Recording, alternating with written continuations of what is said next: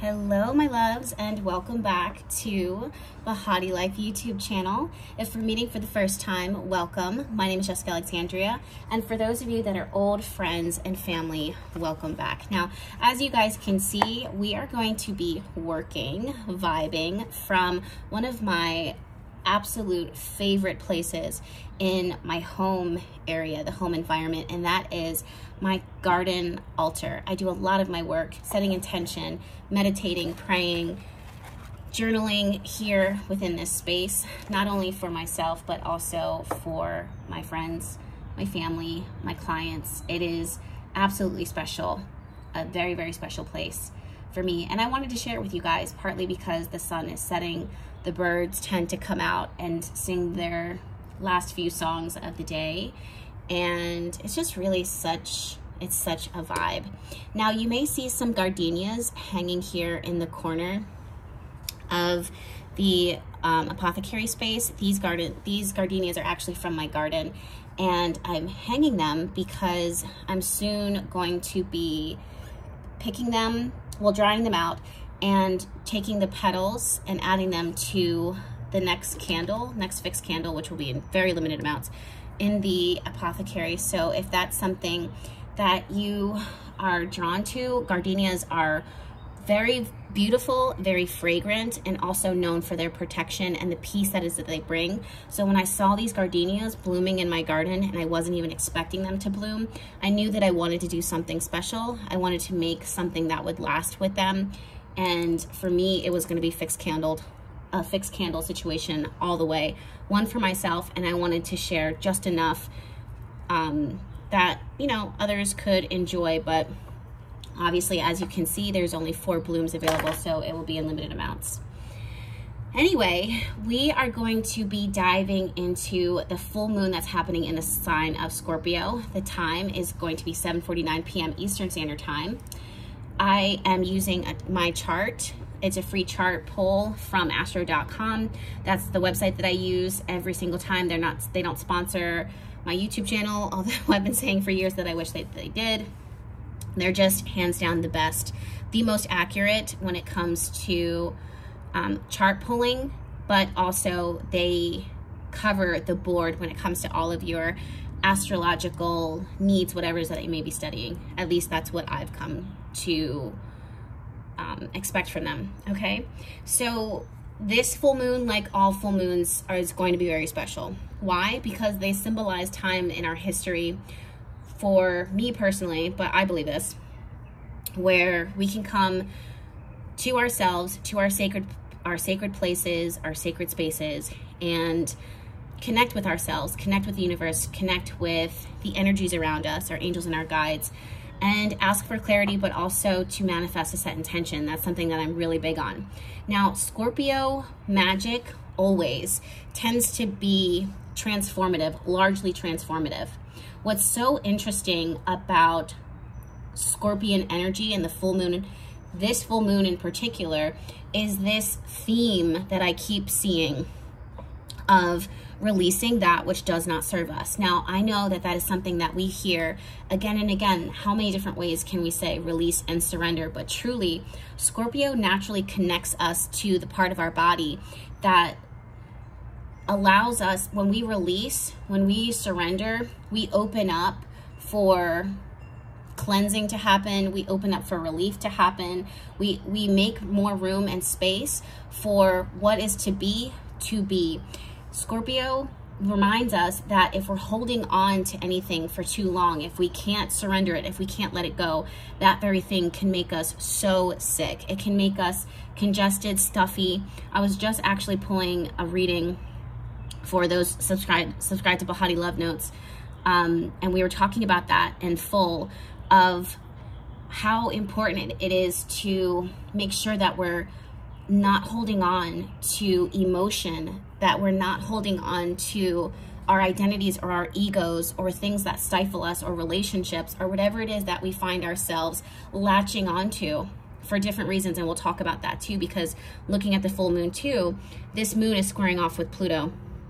And that energy right there, there's a lot going on. And these, this trait, this, this tendency is going to show up for the full moon, but also for the remainder of 2024. But back to what it was I was saying, it's it's important that we are assessing, that we're evaluating our bodies and sc scanning our physical bodies to see where is their tension, what is it that we're holding on to, because not only does it reveal to you unconscious fears that may be sabotaging your own growth and your own evolution, but it reveals to you the parts of yourself that can be poured into and nurtured that you may not recognize because you are refusing to look at it, to address it. And that's something that's very human. So, this is where this Pluto aspect is very important Pluto in the sign of Aquarius. Now, Pluto, this P right here, sitting in the sign of Aquarius, Aquarius rules innovation, rebellion, striking out, striking, uh, striking out, striking different, and doing things differently is being radically transformed by Pluto. Anything that is holding us back, that are, is keeping us stunted, and parts of those bits and pieces of your mind and conversation have already started revealing themselves to you, especially now that Mercury has been retrograde since April 1st and will finally move direct on the 25th. But you know, I that's a huge blessing all by itself. Pluto showing up and squaring this full moon is going to give us another opportunity to look at maybe assess and to understand why did we need to why we felt the need to hold on to this thing for so for so long for so and so hard you know? Sometimes when we're dealing with the energy of pluto we have to look at our our understanding of like power and control right? So let's say if we hold on to the tendency to people please we subconsciously may feel like this is going, if we're nice people, if we don't have boundaries, if we don't rock the boat, then this is going to make our lives more easier and more safer because we're not angering the people around us. So you may have this tendency to lose your voice, lose your opinion, and go with the flow of things instead of speaking up and saying, I disagree, or I don't want that for my life, or that's your vision, not mine especially, I'm, i know I'm jumping around the chart a lot here, but especially because a lot of our personal planets are currently transiting through the sign of Aries, and Aries is a huge is a huge element, a huge energy of being a self-starter, putting yourself out there, advocating for yourself, questioning your identity or defining your identity depending on where it is at in your journey. Now that the North Node is transiting through Aries, especially at the time of the full moon, this is another time where it's fated for us to begin to look at how we are individually outside of others, who we are, how do I identify myself to be now after all of this growth, out of all of this transition, after all this transformation, who am I now? And there may be some parts of you that you've discovered especially with this beautiful Jupiter-Uranus conjunction, which has only just recently happened within the last few days, last couple days. This has been, but this transit has been tight enough that it's been bringing on a, a lot of awareness within you and within the across the globe. What are our values now? What traditions do we still want to honor and what things have we outgrown? There's going to be parts of you now that you look at yourself in the mirror and you say, I have really outgrown this this place within my life. I have really outgrown this relationship. This is the way that I've always done it. This is the way that my family has done it. This has been passed on to me, but I don't see the value in that anymore. What's more important to me is my peace. What's more important to me is my sense of security. What's more important to me is my faith. These are things that were once compromised. These were things that you were once okay with compromising. And now you have this awakening, this awareness, this shift deep within you that is undeniable, clear, striking, that says, now that I know this, I do not find myself, I do not see myself going back. And for some of you guys, you don't have a choice. you don't have a choice.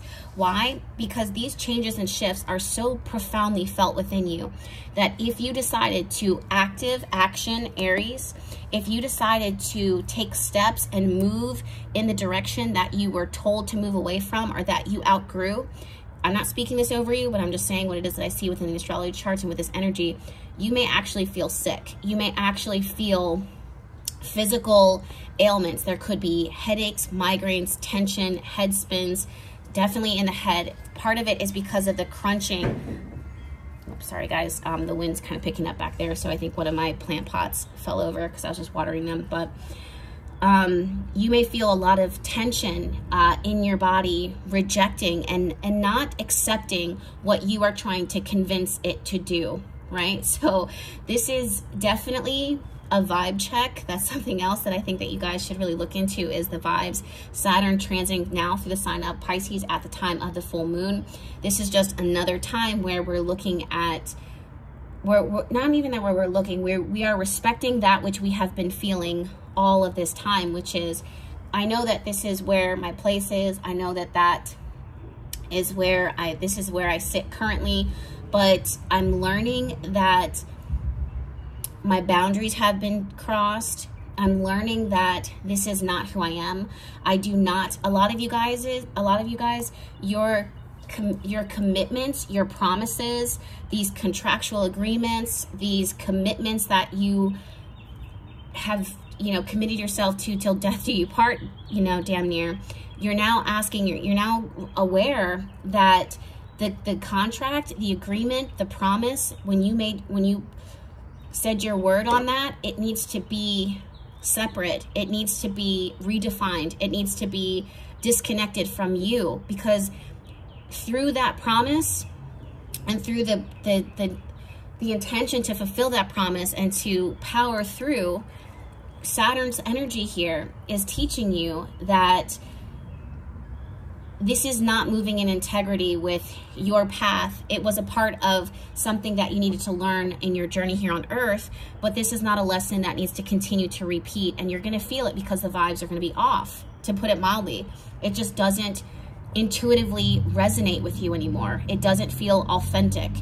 No matter how it is identified on paper or how it may seem to fit the script and fit the bill of what your life should look like or what your life should feel like, when you sit with yourself, you have an authentic response that says, no, this is not for me. And this is where your boundaries and your word, you may have to teach yourself that this is something that I need to now relinquish.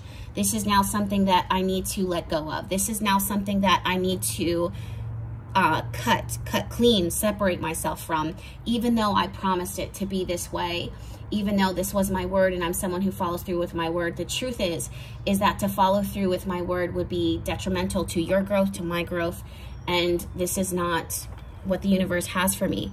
If you need to use this full moon for anything, one of the very things that comes to mind is asking for your angels and your guides to help separate you from the things that do not serve you any longer. And that can feel like a real threat to life as, as you know it because when you invite in your ancestors, your angels, and your guides to partake in helping cut cords for you or helping you towards greater bits of freedom, spiritual awareness, awakening, this means that those ties are going to start being worked on being severed. And that can really call forth a lot of triggerization in, in us individually where we're like, my safety net, my way of being, my way of living is now different.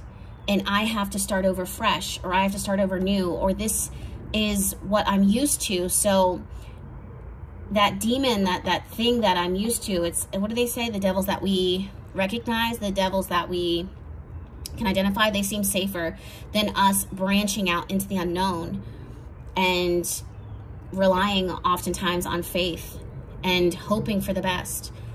Even if your intuition is telling you this is where we are to go, this is the right thing to do, it's still it's still very scary. And as a human being, from one human being to another, I get it. I get it. So this is one of those times where we look at this interesting square again of the moon, the full moon, and Pluto. Pluto says that the same things that give us control, the same things that make us feel like we're empowered could also be the same things that imprison us and take our power away from us. And sometimes you need to radically change your life. Pluto transiting through Aquarius Sometimes you need to radically change your life in order to progress, to move forward, and to activate some of the greatest blessings and opportunity within your life. And this may mean that there will be a huge shift in what you have always valued and what you've always prioritized. It may mean a shift from your community, your friendship, kinship, relationships, but it is worth it. And don't take my word for it the part of fortune is sitting in the same sign that is being activated by Jupiter and, and Uranus and this full moon right now. You can't see it, but the sun is right here and the part of fortune is right here. And they're both sitting directly on the DC line, the descendant line, which represents relationships and um, like marriage, marriage partners, marriage uh, connections, and also sometimes um, enemies enemies that we soon learn. You, you what people, things that were once close and safe to you turn into the bane of your existence and you, you start to see a different side of someone that you never would have recognized. That's real, right? But the part of fortune here, here sitting in the seventh house says that this, this striking, this call to strike yourself away from what literally no longer serves you and venture into the unknown and to really follow the path of your new realigned values is going to activate partnership, union, connection, intimacy, support. And that is something to be huge, hugely valued right now. Just like Pluto, I'm sorry, just like Scorpio, who is actually ruled by, co-ruled by Pluto and Mars, just like Scorpio rules releasing, letting go, surrendering, it also rules intimacy and depth. And our ability to connect even further because we allowed that surface level lens or filter to fall away and to be released and you are being seen vulnerable very very vulnerable. That vulnerable side of you is worth protecting but that vulnerable side of you is also worth sharing with the right people the right things the right situations the right places that can support and hold the magnitude of the blessing it is when you are raw you. Raw unfiltered beautiful you this will look like, this will show up not only in our relationships, intimate, where you can draw closer to those who are deserving of that, but also it will look like your relationship with the, the, the, divine, your relationship with yourself, where the same parts of you that you may have shame, that you may hide, that you may suppress, that you may hold on to and never release because what happens if I let go? What happens if I reveal this part of me? You will find love and intimacy and connection and sharing and depth there and be able to embrace those parts of you even if you found found them once foul or you couldn't even look at them. You didn't want to even address them. You didn't want to see them. You didn't want others to see them. There might be shame. There might be guilt. You might feel vulnerable. You might feel shaking. Your energy might shake those are the parts of you that are worth discovering and drawing closer to. Now, for those of you that are interested in relationships, intimacy, and connection, I'm not saying that there isn't depth here because with Scorpio, there will always, there tends to really truly be a lot of depth. If it wasn't for so much profound depth, they wouldn't be so protective of the deep well of emotion and truth and intuition that comes with Scorpio energies across the board. But Scorpios also have that that sting, that that punch that you got too close to me and now you're paralyzed. now you can't walk. you got to live like this for the rest of your life, right? So there's there's that part of you that is also can be activated here. Protection, potency, magic, mystery, secrets, those are things too that are worth exploring. They're also worth sharing when it comes to relationships and connection. So the depth is there. I just also feel like you can discover, when it comes to relationships, you can discover more of a person. Let's say if you're in a relationship right now and dating, or if you are looking for intimacy and connection, just getting out and showing up for small like light things with the perspective of listening and being present and allowing someone to be their authentic self with no punishment, no no ulterior motive. That's a wonderful way to uh, invoke intimacy and depth and connection in your relationships right now or something to ask for if you're setting intention, which I highly, I do recommend setting intention at this full moon for love, romance, intimacy. I'll open up those slots for that in the apothecary shortly after. Love, intimacy, connection, depth are huge things to set intention for at the full moon. Also, uh, if for those of you guys that work magic, or have worked magic with me, the Pluto Death Oil. This chart has Pluto Death oil intentions all over it. I'm 100% going to be recreating more of that oil, but it's all about profound, transformative, radical, powerful change that sets you up to become the best version of yourself. Or if you're already in the midst of this, which so many are with the Jupiter Uranus conjunction and Pluto, just Pluto, always, right? just Pluto in sign of Aquarius, but for everyone it's different. Let's say if you have a lot of Aquarius placement, you're going to feel this a little bit stronger and harder than most. If you are Scorp uh, Scorpio, you're going to feel this to infinity and beyond.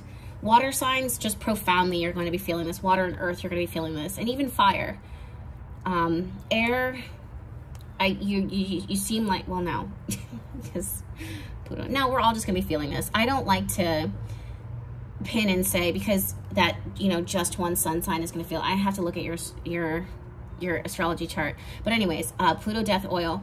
I also think that growth, focusing on growth, inner growth, inner reflection, intuition, and protection are key, key, key points to set intention to work your magic with um, big time. I'll link all of my all of the things that I recommend and why. I'll link them down below. So I am surprised that I was able to get all of what I was able to get done and out and said. I'm going to pull a card for you guys real quick if you don't mind.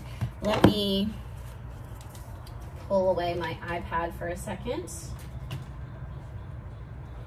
And I'm going to shuffle for you the Crystal Spirits Oracle. And we will see what is the overarching energy or message that can be added on to the Scorpio full moon. I'm going to try not to be too loud with this. However, if you're sensitive to noise, now would be a great time to cover your ears in three, two, one. One more time. Three, two, one. And one more time. Three, two, one.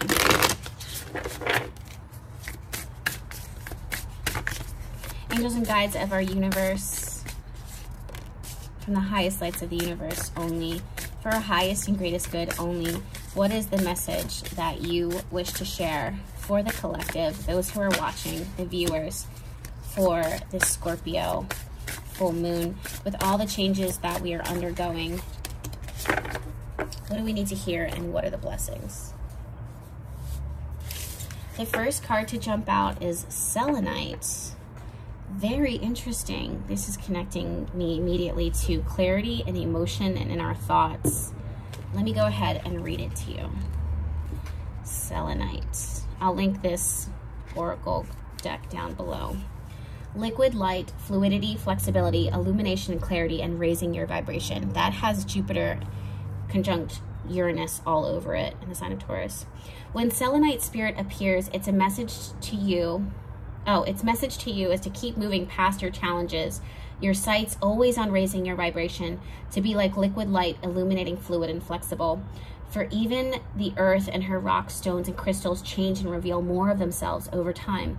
Selenite's spirit message is that whatever the phase of change, you must yield your expectations about how things should be so that you can discover the beauty in how things are evolving. That, like liquid light flowing around an obstacle, you have the capacity to move more freely than you might realize. Know that a new perspective can help you see that. You don't ever have to be stopped in your tracks. Be flexible in your thinking, for there is more wisdom in the universal consciousness than in your own individual mind, and it's always available to you. The way out of the old patterns is to enter the unknown. Didn't we just talk about that? Without maps or well defined familiar paths. Surrender your fear and know that the conscious universe is here to provide you with clarity and, and guide you through unexpected twists and turns. That is definitely pretty much I don't want to say a whole summary, but a very good summary of what it is that I was pulling from the chart and what it is that I'm intuitively seeing and sensing. So I love that this card definitely reflects reflects that. The next card that we have is Bronzite. And you might have gotten a quick glimpse of the other crystal. Also, I wish you guys were here right now because the scent of these gardenias is phenomenal. I'm not exaggerating. It is phenomenal. And every time the breeze kind of picks up and pushes around the petals, I'm smelling them. I'm smelling them. it's just really so beautiful. Gardenias have always been one of my favorite flowers when I moved to Florida. Not this round, but when I moved to Florida when I was in high school. Whoa, guys. Wait till you hear, I, I rarely see this card, so it's really interesting that it came up. Wait till you hear the message. Bronzite, connected to loyalty, trust, steadfastness, self-respect, and trusting that the universe has your back. Now is the time to be sure you trust in the conscious universe and remain true to your authentic self. Let me stop even if that authentic self has changed and evolved. If you promised someone or something in the past when you were a different person, it is understandable that that you and that promise may have shifted and changed or if you made a commitment to something and it's you're not you're not flaking, you're not lacking in authenticity, you have evolved and it's important for you to express that evolution, that growth, and how showing up in the same way or staying committed to this to the same thing that there was a bond there can be a prison to you. And i don't know why that that's the message that's coming through again and again but it just needs to be stated. Okay. Be judicious in extending your trust. Oh wait. Okay. Knowing it is a gift from the conscious universe that must be honored. Respect others by being trustworthy yourself speaking of them in ways that are honorable. Heal the past by owning your role in it so you can trust yourself again, having learned the lessons that will strengthen you. Let me read the relationship message for you as well. I feel like it's losing your ability to see it because I have my camera situated a certain way. Even if you've been betrayed in the past, you can heal the sting by extending trust again, as challenging as that may be. Bronzite Spirit reminds you that this time, however, you are much wiser and stronger, more mindful of the signs that signal your need to step back and nurture yourself. Being true to another is an expression of the beauty of the divine, and you have this capacity. Your loyalty and steadfastness will be rewarded by the conscious universe, perhaps in ways that you don't expect. That's the North Node. Honestly, that's giving the North Node translating through the sign of Taurus. Let me double check. I can like literally pull charts all day and then forget the chart. I do the same thing with my, I do the same thing with my personal chart. Yeah, North Node in Taurus. The other day I said Jupiter conjunct Pluto and I was like, girl, what are you talking about? okay. Okay, hold on. Uh, be true to yourself, knowing that a loving, respectful relationship with yourself lays the groundwork for a loving, respectful relationship with another. Remember, you are always protected when divinely directed. So, if the divine gives you the directions to go a certain way or to change, to pivot, to do this, it's your duty to, to move accordingly, to pivot accordingly. If you have to take additional time to reflect, to ask for confirmation, and to be reassured by the universe, ask for it, but don't ignore it the last card we have here is Orange Sapphire, and I'm really, really, really, really loving this color right now, but I don't remember what this card symbolizes. If I had to guess, I would say joy, optimism, and expansion. I also love Sapphire so much. Oh, okay. Joy and sensuality, respecting your body, and body love. Just as healing crystals are of the earth, yet separate from it, we are part of Gaia, and the same water, minerals, and crystals are found within us as well as within the earth. That is beautiful, a beautiful reminder. Sometimes we can feel completely in our heads and out of touch with our bodies, but Orange Sapphire Spirit is here to remind us that our bodies will serve us throughout our lifetime. So treat yours lovingly. Nourish it with good foods from the earth and water that will re replenish you. Wonder at your body's beauty and strength. Marvel at its ability to keep your heart beating and your lungs inhaling and exhaling without your conscious effort. Regardless of the flaws you think your body has, now is a time to pay attention to it and tend to it with love. The message of the orange sapphire spirit is to honor your body and experience its miracles, the senses that distinguish so many different scents, sounds, textures, and colors. Be fully present in your body today and observe what you experience and what your body has to tell you care for it and express gratitude to it, for it's through your body senses that you can experience pleasure. I love this. This card also says hug someone, hold their hand, and explore the gifts of the senses with another, listening to music together, cooking good food with each other, being in the same physical space.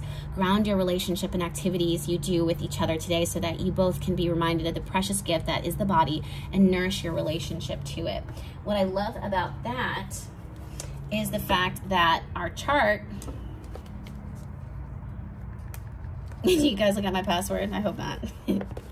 um, what I love about that is the fact that uh, the way that I pull the charts, I also kind of employ like horary astrology, H-O-R-A-R-Y, um, to predict the future. That's one of my favorite modalities of astrology that I don't really share. I actually share it with the world all the time, but I don't express that that's the, the, the modality that I'm using when I'm pulling charts. Um, but anyways, it's really telling to me that at the time of the chart being pulled that there's the, the full moon is, well, the sun, but the full moon is aspecting the DC line, the seventh house, and also the, the ascendant, the first house, the house of self. So that connects us right there to relationships, connections, partnership, intimacy, union, and I love that the um, cards are suggesting that if love is on the mind, if love is on the brain, intimacy and connection, that pleasure and sharing and joy and connection is very, very important, right? And I also just want to say that some things about intimacy and connection don't always look like sex. They don't always look like sexual expression. And sometimes when we think about Scorpio, we think about sex because Scorpio actually rules the orgasm. It rules our ability to release, to surrender, to let go so that we can experience the ultimate height of our pleasure in the moment when it comes to sex, when it comes to physical pleasure. But truthfully, um, I don't want us to dismiss the importance of how intimate and connecting and wonderful it feels to share space with someone and simply hold hands and simply listen to each other and simply share space or cook food for each other or share. Those are very intimate acts that are just as deep if you're if you are setting the intention for it to be as sex is. And when we live in a world where sex is something that is thrown around so quickly that people use it for quick connection but aren't actually really connecting with within themselves and with their bodies and with another person um, we can oftentimes forget and overlook that sometimes the most intimate thing can be dissociating and not even, you might not actually be connecting with your partner or even if you're self-pleasure, you know, you might, you might be rushing through the process and just trying to fulfill a basic need when this could be something that is so much more than that. It could have so much depth. You could be discovering more about yourself, not just your physical body's pleasure and how that evolves and changes over time, but feelings that you may have held on to or fantasies, not even sexual, but fantasies of life that you would like to live in your imagination. And those are all very beautiful things. So this full moon to put it all in a nutshell is very special.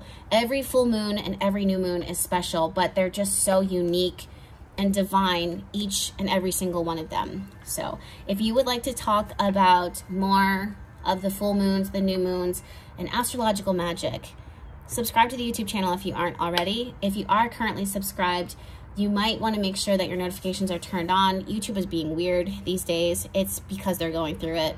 They have been going through it for a long time. It started when Pluto was transiting through Capricorn, and now that it's in the sign of Aquarius, good luck to social media. Um, so one way to show support of this YouTube channel again is to subscribe to get plenty more videos where this came from. Until then, you guys, thank you so much for allowing me to pull charts, to pull cards, and to connect with you. I do hope that this full moon is good for you. speaking of intimacy, I hope that this full moon is as good for you as as it was and will be for me. Okay. and on that note, I'll see you guys later. Bye.